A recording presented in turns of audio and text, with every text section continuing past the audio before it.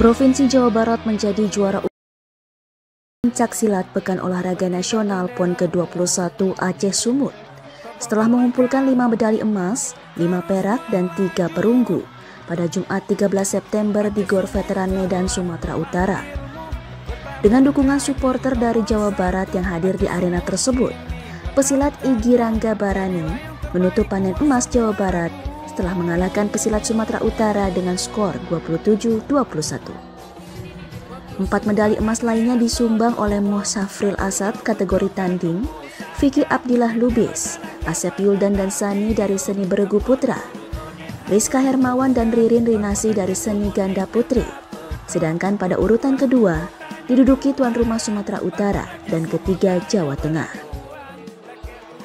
Dan ini melengkapi setelah pon sebelumnya di Papua, kita meraih uh, juara pada saat itu dengan 14 medali uh, pada saat itu 6 emas, 5 perak, dan 30. Hari ini kita melengkapi juga dengan 5 emas, 5 perak, dan 30. Artinya Jabar sempurna menyempurnakan untuk yang ketiga kali hat-trick pada PON 2016, 2021, dan 2024 di Aceh Sumut ini.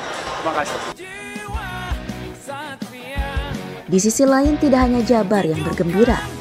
Salah satu pihak lawan yaitu atlet pencaksilat Atika Putriani dari Bangka Belitung yang mengaku baru pertama kali mengikuti PON dan berhasil meraih medali emas mengalahkan pesilat Rahmati dari Jawa Barat dengan skor 40-15.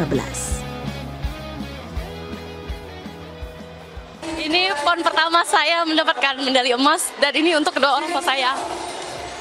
Motivasi saya sendiri untuk hari ini uh, orang tua saya yang pastinya ya. Saya berjuang mati-matian untuk kedua orang tua saya membanggakan nama kedua orang tua saya dan nama provinsi saya. Gelaran cabang olahraga pencak silat yang mempertandingkan 264 atlet dari 32 provinsi memperebutkan 22 medali emas dari 9 September hingga 13 September resmi ditutup dengan kemenangan Jawa Barat sebagai juara umum. Dari Medan, Sumatera Utara, Bayu Pratama, Kantor Berita Antara, mewartakan.